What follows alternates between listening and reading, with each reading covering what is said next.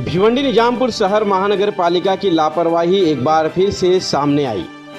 बता दें कि भिवंडी निजामपुर शहर महानगर पालिका द्वारा ठेके पर दिए गए कचरा टेंडर की लापरवाही सामने आती हुई दिखाई दे रही है।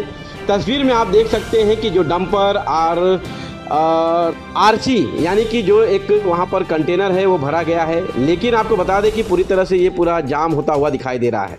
सूत्रों के हवाले से खबर आ रही है कि भिवंडी निजामपुर शहर महानगर पालिका द्वारा ठेकेदार पर कचरा टेंडर तो दिया गया, लेकिन उनके हक में वज़न काटा नहीं दिया गया, जिसके कारण आपको बता दें कि एक निजी वज़न काटे पर ये पूरा कचरा वज़न किया जा रहा था। जहाँ सूत्रों ने यह बताया कि वज़न काटे का पूरी तरह से पेमेंट नहीं किया गया, जिसको लेकर आज ये पूरे कचड़ों की जो ढेर और गाड़ियाँ देख रहे हैं ये पूरी तरह से जाम बताया जा रहा है।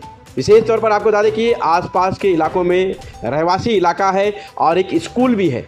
जहाँ पर लोगों के स्वास्थ्य के साथ में भी एक खिलवाड़ होता हुआ दिखाई दे रहा है। ये पूरी तस्वीर भिवंडी के चाविंद्रा रोड अपना वज़न काटे की है। जहाँ आपको बता दें कि भिवंडी, निजामपुर शहर, महानगर पालिका और ठेकेदार की लापरवाही के कारण कचड़ों की गंदगी से आने जाने वाले लोगों को बदबू का सामना करना पड़ रहा है, क्योंकि आप देख सकते हैं तस्वीर में कि जो आरसी और जो डंपर गाड़ियाँ हैं, जिसमें कचरों का ढेर है और ये ढेर के कारण आसपास के इलाकों में बदबू फैलता हुआ दिखाई दे रहा है।